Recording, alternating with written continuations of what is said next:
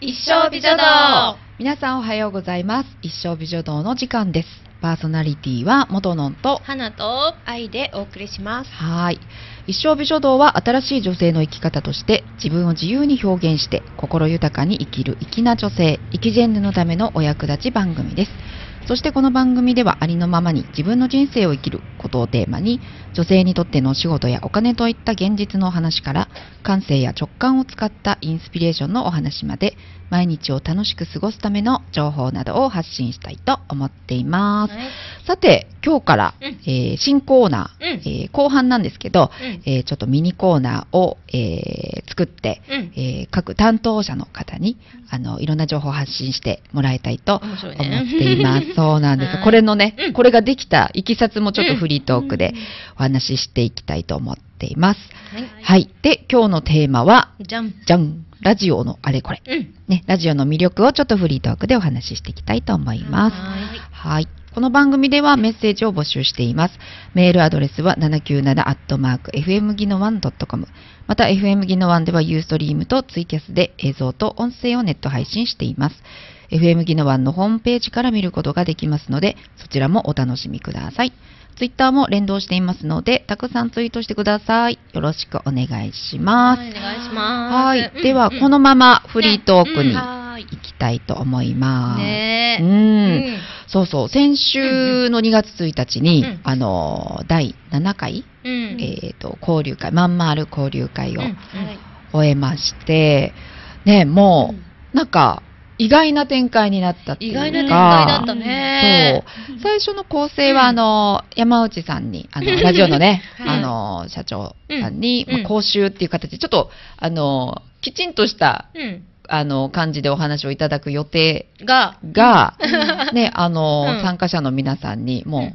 最初から参加型で、うん。あの、企画をしてもらうっていう、うん。うん、話うん。からも入って、ね。ねみんなそれぞれ企画したんだもんね。え、ねえ、そうそうそう。ね愛、愛さんは？う、ん。うんあ、そうそう、あの、企画の内容がそのタイトルだったり、うん。放送したい時間帯だったり、うん。自分がラジオを持つとしたら、ねどんなことができるかみたいなね、そういうちょっと空想的な、だね。うんうん。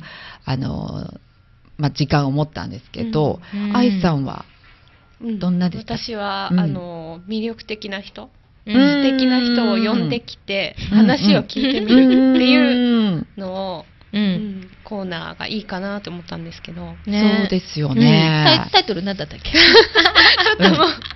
ちゃんと聞いてみるんるんなんです もう愛さんらし可愛いい、かわいい。けどタイトルをあの全然考えてなくて。うん。みんなね、それぞれシェアするときにあみんなタイトルも発表してると思ってうん。急いであの思いつきだったんですけど、うん。はい。そうか、はい。そう。うん。なんか、うん。ね、その、なんだろう、テレビでありそうな、うん。こう、人を紹介していく。まあ、なんか、あの、うん。笑っていいと思ううんみたいなね。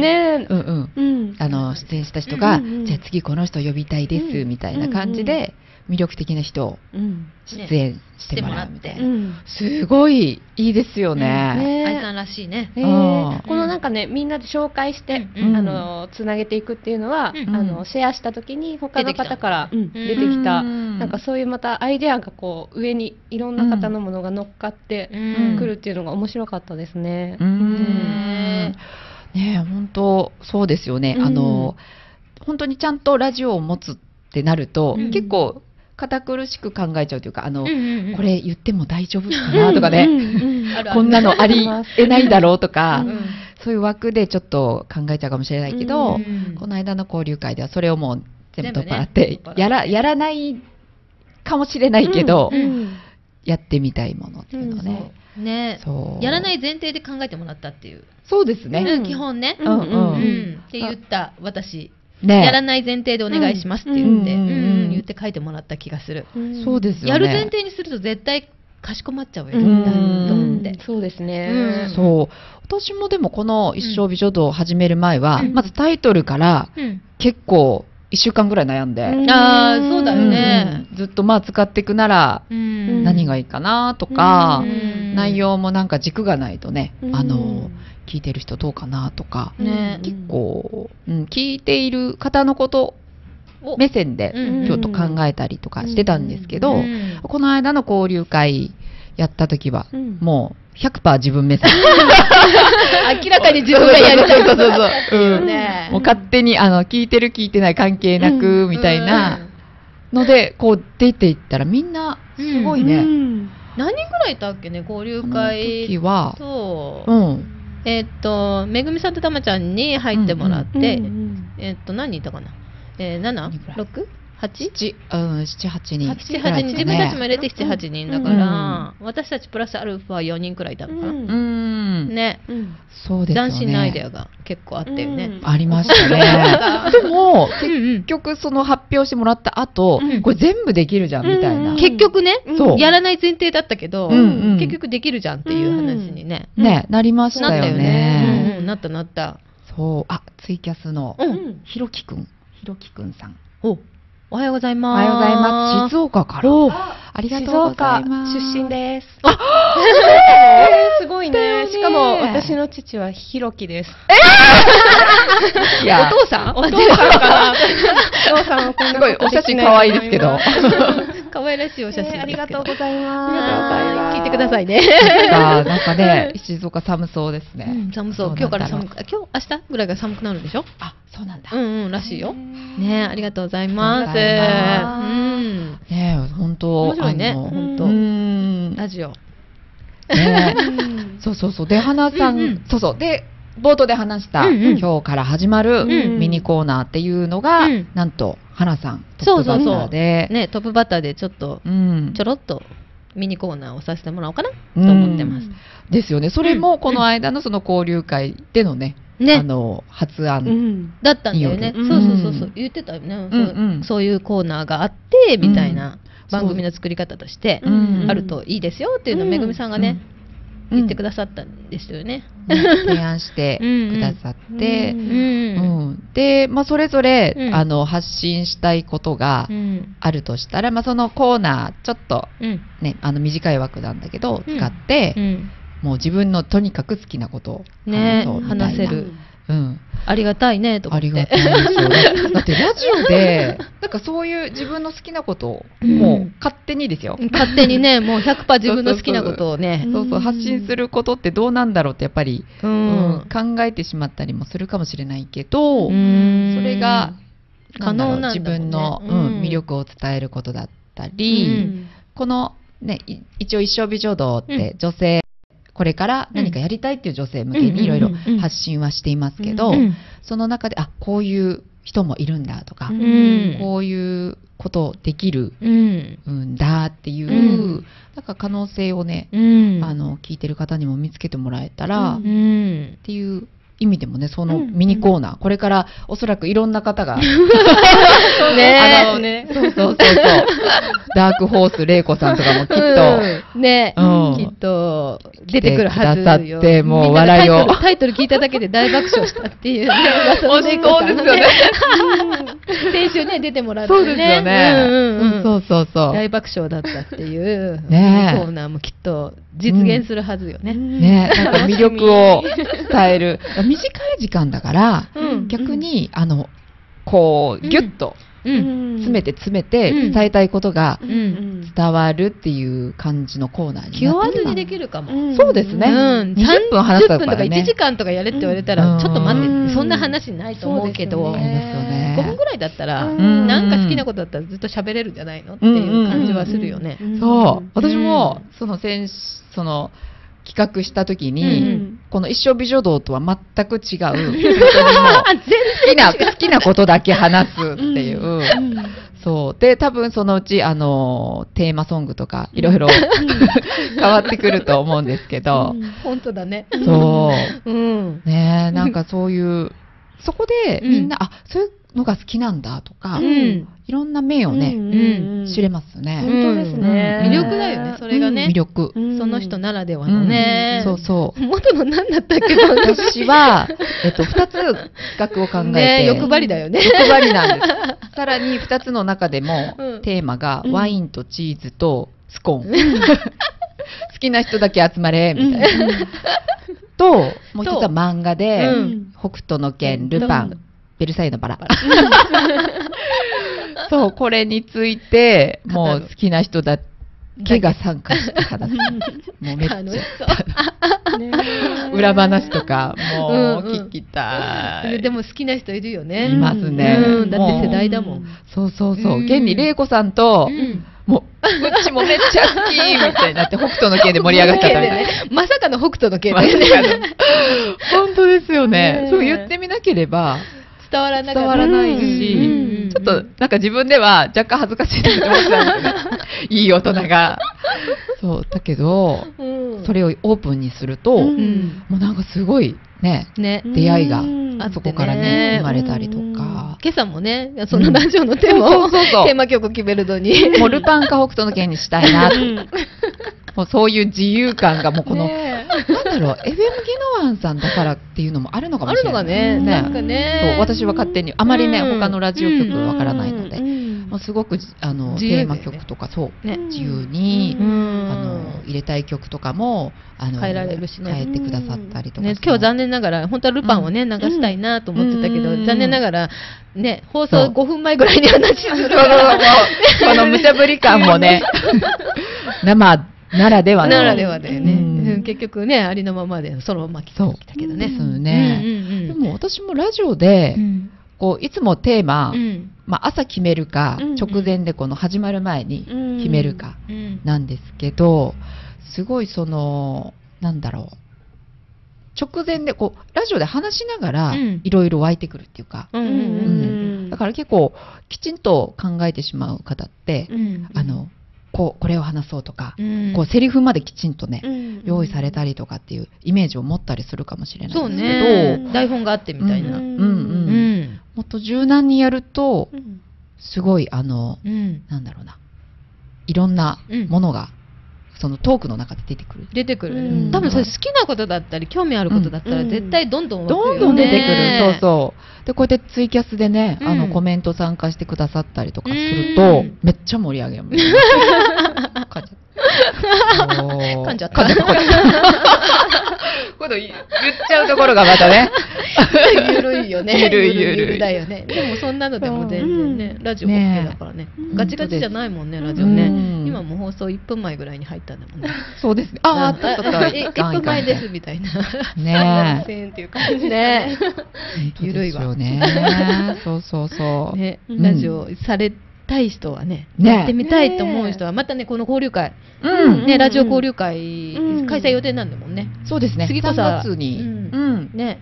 また開催しますので、うん。まあ、その中で、あのちょっとラジオでこういうこと発信したいんですけどとか、うんうんあの言っていただけたら、うん。そのねもう告知でもコーナーでもうん。ね。持っていただいて、うんうん。ちょっとね。一緒に、絡んでいければなという、ねうんうん。きっと面白いはず。ううんん絶対魅力がね、その人なりの魅力がね、うん。出てくるはずだもんね。うん。そう。なんか思ったんですけど、結構ブログとかうん。フェイスブックだと気軽に結構みんな発信できるじゃないですか、うんうんだけど結構一方通行だったり、うん。ああ、そうね。なんて言うんだろう、うん、その反応、まあ、うんいいねとかっていうね、うん形で返ってくるけど、うんうん。なんかどうなのかなっていうのが結びつきにくいけど、うん。ラジオってもう自分がもうリアルにうん。言いたいことを生で伝えてるから、まあ、それによってこう、ね、共感してくれる方からメッセージもらったりとか、すごいなんていうのかな本当に、やりとりがねう。んうん。人間らしく、うん。うん。こうリアルなうんやりとり増える気がする。増えますよね、ラジオ見たよとか、うん。うん。そこからなんかね、うん。あのお仕事だったりとかね、うん。もう別のあるかもね。趣味でも、うん、つながって、うん。実はそういう人を探してたとかね。うん。そうそうそうそうそう聞いてる人がね、自分がふっとねうん。発信したことが、うん。そうそう。あるかもね。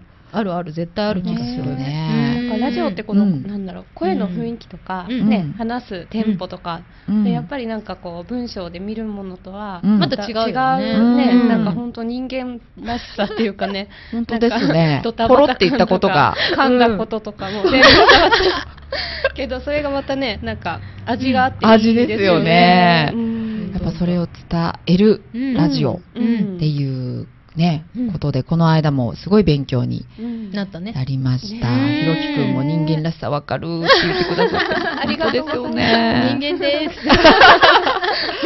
そう。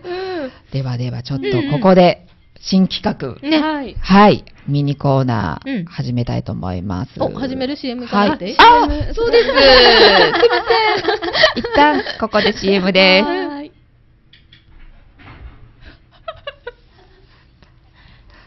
もう。今ダウンロードしたので、うん。来週から。あ、おはい、ありがとうございます。エンディングから使ってもらってもって。ねえ、エンディング。ダウンロードできるんだ。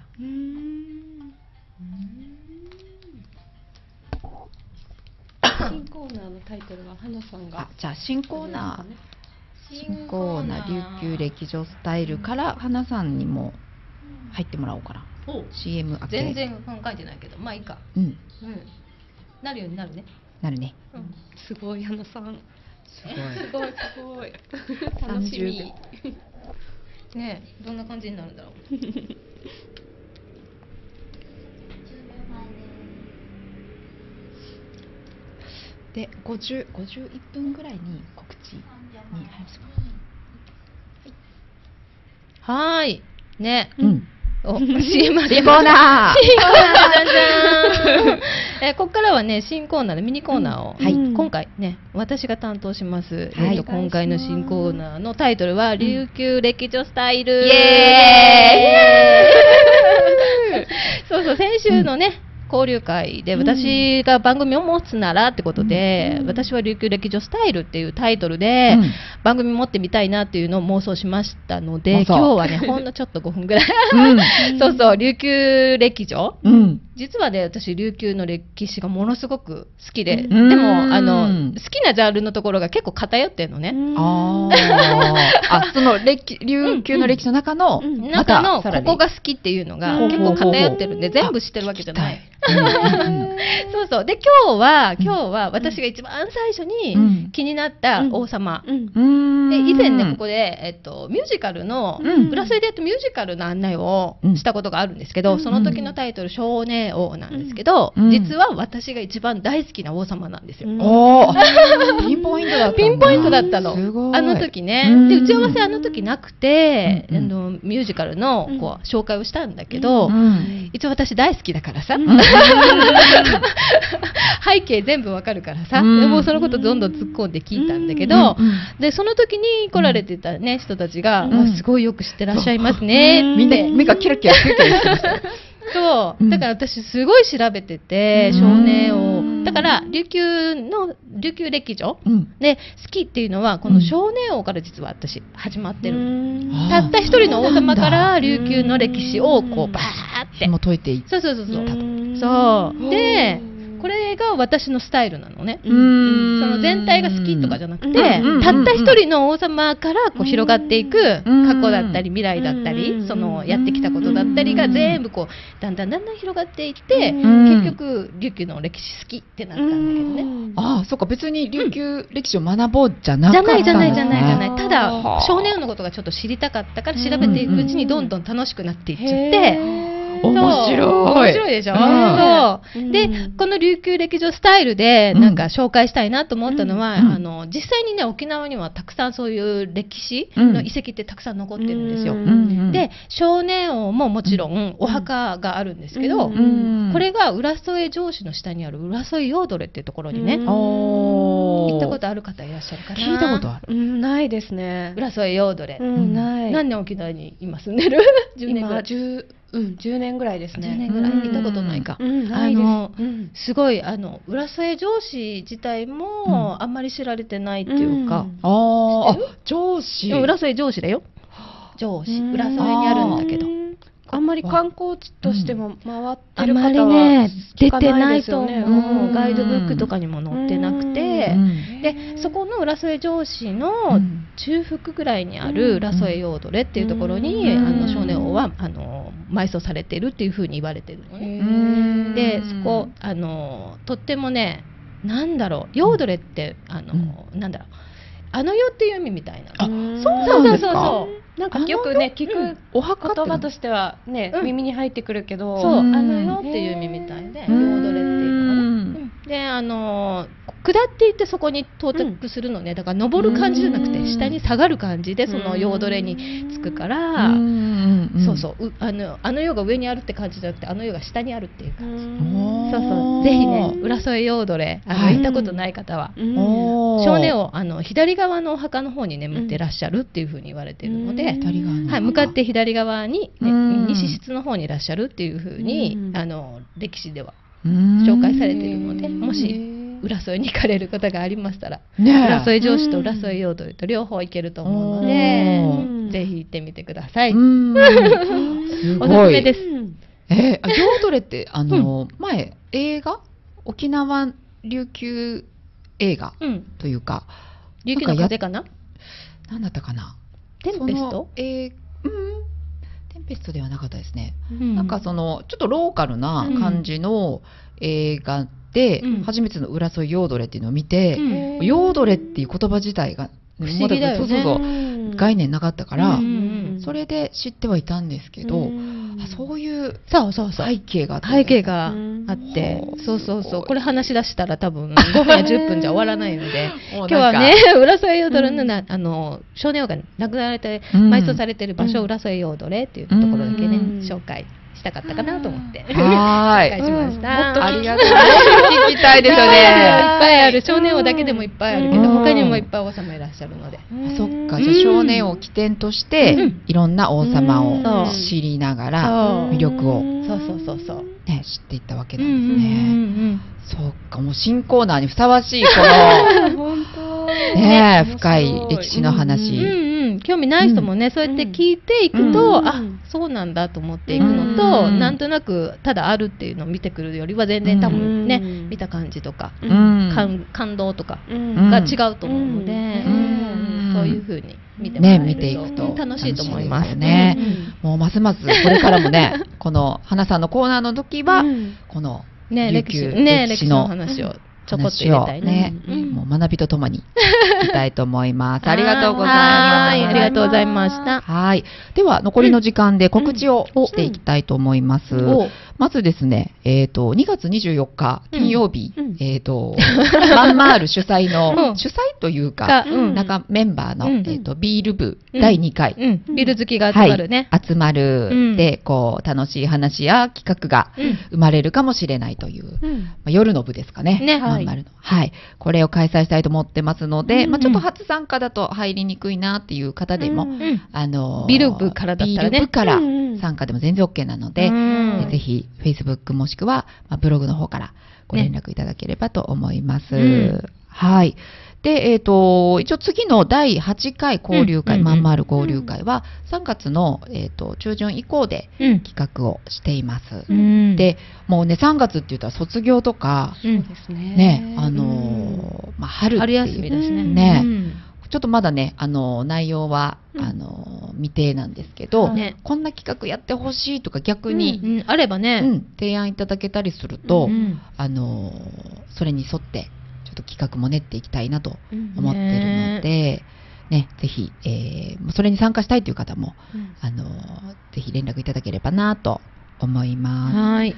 あと、えあとなんで。ーと2月20日うんですね、これ先週も告知させていただいたんですけど、おありがとう。ハッピームーブーブ、うんうん。うん私あの手作りもしてるんですけど、うん。あの作家なんですね。うん。作家ってなんかかっこいいけど、たわし作ってるだけでよね。うんあの20日2月20日にハッピームーブっていう小さなね、うん。あの移動販売車うん。雑貨屋さんがみんな移動販売車で持ってきて売るっていうイベントを、えーっとどこだったっけ？長デグア駐車場西原町でやりますので、ううん。んあのフェイスブックとかハッピームーブで検索してもらえると、うん。多分出てくると思いますので、ぜひぜひね。いらしてください。お出かけには。10代ぐらいかな？おー。10代ぐらいの出店者がいると思いますので、うん。アットホームにやります、なるほどね、うん。ぜひ行く、ね、あの タイミングがある方はうん。うん。行ってみてください。はい。あツイキャス最後いただきましたね。ラブうん。ラブジャパンさん。うん。どどっちゅうなれ。